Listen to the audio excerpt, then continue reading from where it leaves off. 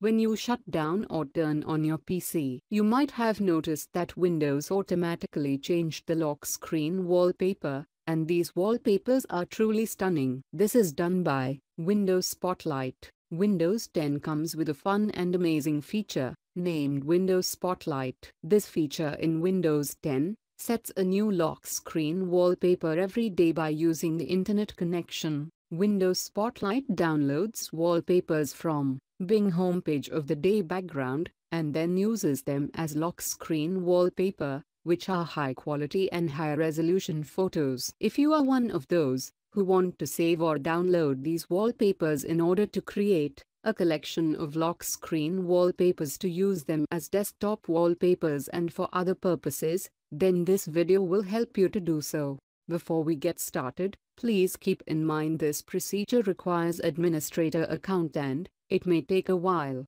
so make sure you have enough time. Copy this location to clipboard and move to the next step.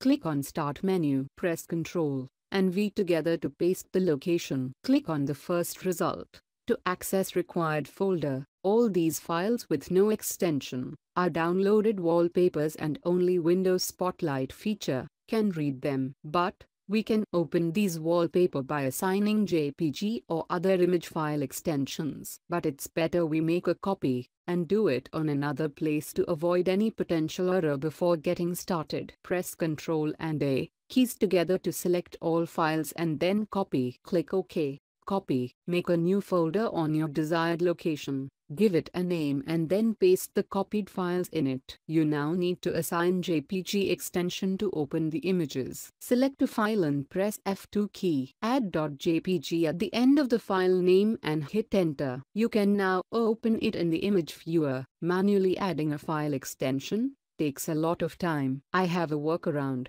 If you have a lot of lock screen wallpapers and want to save time, you can use command prompt to change the file extension at once. Click on Start menu and write CMD.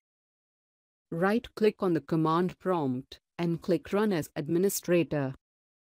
Here we need two things, folder location and CMD command for batch file extension change. To get folder location, open desired folder and then copy the location from address bar and get back to the CMD. Write CD and then right-click to paste copied location and hit enter. Now write cmd command and hit enter to kickstart the procedure. Congratulations, CMD command successfully added JPG extension to lock screen wallpapers. Share and give this video a thumbs up if you find today's video useful and informative.